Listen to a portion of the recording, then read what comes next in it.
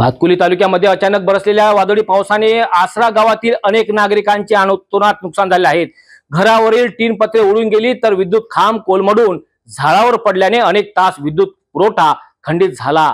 महसूल विभागाने नुकसान भागाचा पंचनामा केला नुकसान भरपाई देण्यात यावी अशा मागणीला आता जोर धरत आहेत.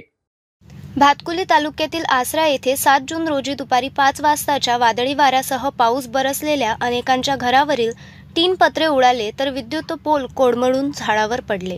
अनेक तास विद्युत पुरवठा खंडित झाला नागरिकांच्या वतीने आता नुकसान भरपाईची मागणी केली जात आहे.